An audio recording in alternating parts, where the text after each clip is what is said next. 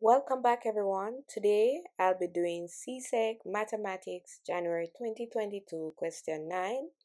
This is a trigonometry and circle theorem question.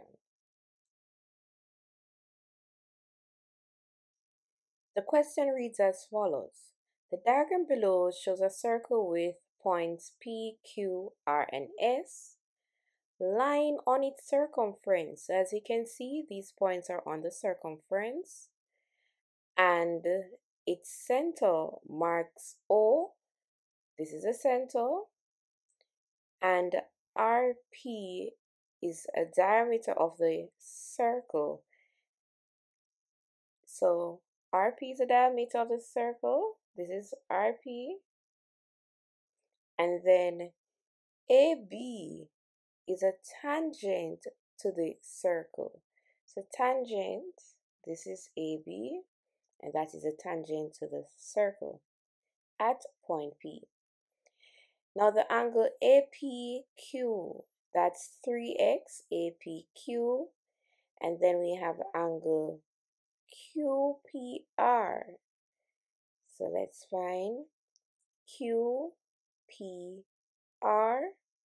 and this is 2x degrees and then angle RPS RP not here but RPS that's RPS and finally we have angle QSP that's 54 degrees. Let's find this. So this is the angle 54 which is QSP now we have some unknowns to find. Determine the value of each of the following angles and you know we need to show reasoning. Why we did this you know? So let's look at x. We need to find out what is x. Identifying that we have 3x we have 2x and we have x. But when we have a line and it's a tangent to the circle and we have the diameter. It forms 90 degrees. So here I have a 90 degrees angle. So it means that 3x plus 2x will be equal to 90 degrees. That's information I know for sure.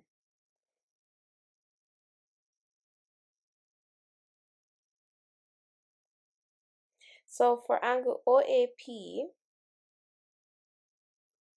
OAP it forms a 90 degree angle. So it means that 2x plus 3x is equal to 90. And from this, I will be able to find out what is x. So 2x plus 3x, that gives me 5x, is equal to 90 degrees. And then divide both sides by 5 so this cancels. So I'll have x is equal to 18 degrees. So here I have my value for x. Now I need to find out y, the value of y, and given reasons, why do I have the following? Now for y, I know that angle in a semicircle is a 90 degree angle. And uh, if you look at RSP, that angle forms 90 degrees. Because based on the fact that I have a semicircle, you know, RP is a diameter, it goes straight through the origin. So the angle that's formed, RSP, will be 90 degrees. I know X, X is 18 degrees, so we can find Y. So it means that the triangle RSP will add to give me 180 degrees because sum of interior angles in a triangle is 180 degrees. So it means 90 plus y plus x will be equal to 180 degrees. And I am aware that x is 18. So replacing there, and I have plus y plus 18 equal 180 degrees and just carry the 90 and the 18 degrees over to my right So there will be a sign change. So y is equal to 180 minus 90 minus 18. So y is equal to subtracting to get 72 degrees. And that's it.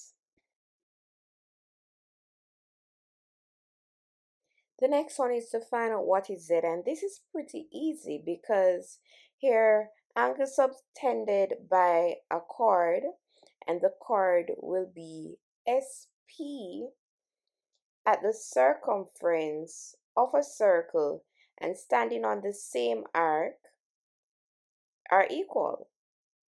So angle R is 72, that is SRP 72.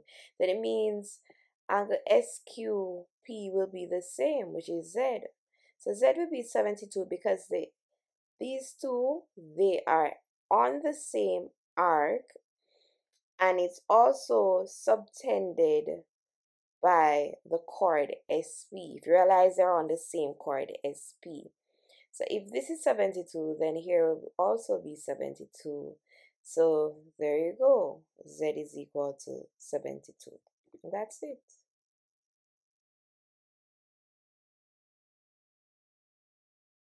So here we have a trigonometry question.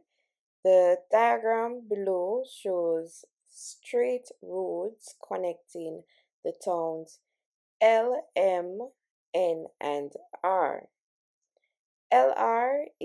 LR is 18 kilometers and we have LN which is 12 kilometers. So that's 18 LN is 12 kilometers.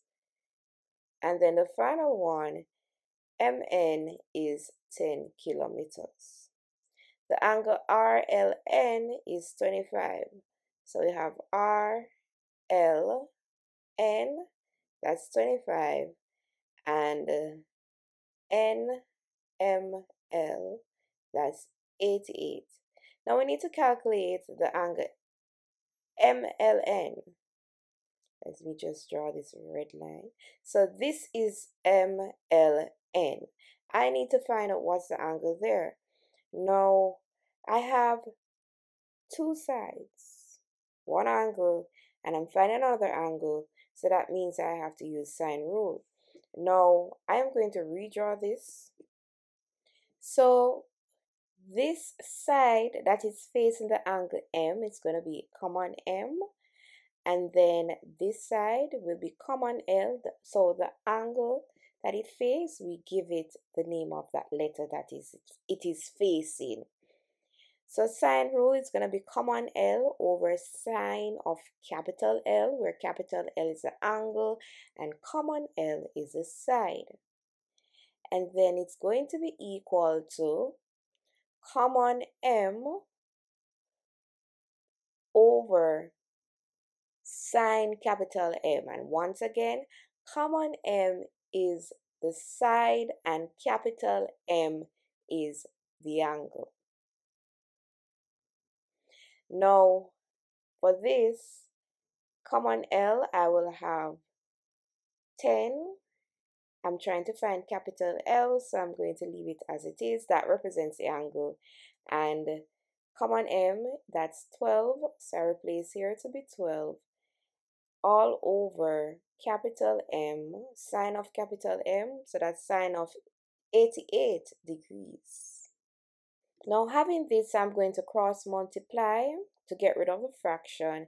So we are going to have 10 times sine 88 is equal to 12 times sine L. Sine capital L, we have to distinguish that it's the capital L, which is the angle. Now, I'm going to divide both sides by 12. So I just do one calculation.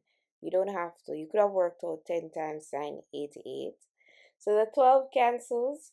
And then we have sine L and work out 10 times sine 88 divided by 12 and rounding it out to get 0.8328 that's four decimal place once you you know want to get rid of sine we have to do the sine inverse once it goes over is sine inverse.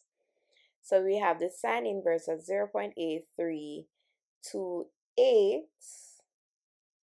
So my angle will be 56.4 degrees.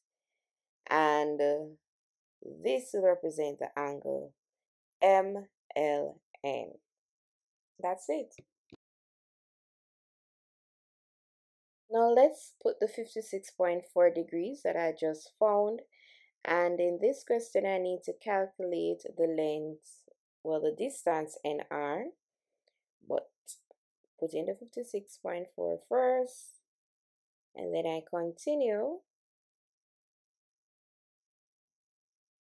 So the distance NR, this is it. This is my unknown. This is what I'm trying to find. So I'm going to redraw this diagram so that you can clearly see the triangle. Now this side is going to be common L and here will be common N and here I'll have common R. So I have two sides, one to another side and have one angle. So I'll be using cosine rule. Now because of the letters that's given, I am going to write the cosine rule in terms of that. So I'll have L squared is equal to r square plus n square minus 2 rn cos capital L where capital L represents the angle. Substituting the information that I have, I'm trying to find L so it remains as common L square but it's equal to r square, which is 12 square. So I have my 12 square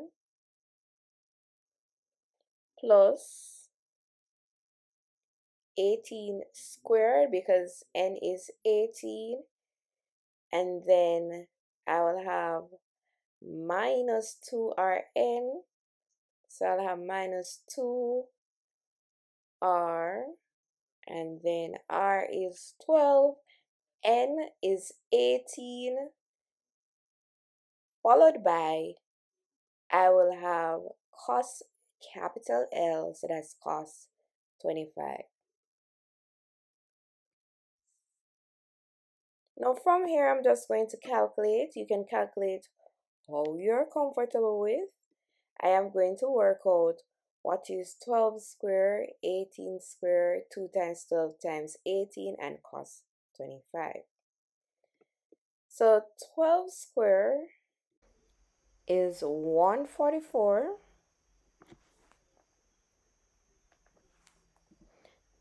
Followed by finding 18 square, that is 324. So 18 square, that's 324. Then after doing this, I have my minus sign and multiply 2 times 12 times 18. That's going to give me 432. Also, I will find cos 25, which is 0 0.906. So that's cos 25. Now, working this out, L squared is equal to 76.61. So just working out all of this to give me 76.61. Please note, you can say 432 times 0.906, get your answer. Then you say 144 plus 324 minus your answer. Now we square root both sides to get rid of square and square rooting both sides, we have L is equal to 8.75 kilometers. The final question, we need to determine the bearing of tone R from tone L. Now, just a reminder that we have MLN, that's 56.4 degrees. We're going to need it here because if I want the bearing from from L, it means I need to calculate the angle that is created from the North Pole to the line LR. So it means I need to add up all the angles 50 plus 56.4 degrees plus 25 and that will give me the angle. So my answer here will be 131.4 degrees and that's the bearing. Thanks for watching guys. Don't forget to like and subscribe to my channel. And remember, part 2, complex numbers, is coming next week.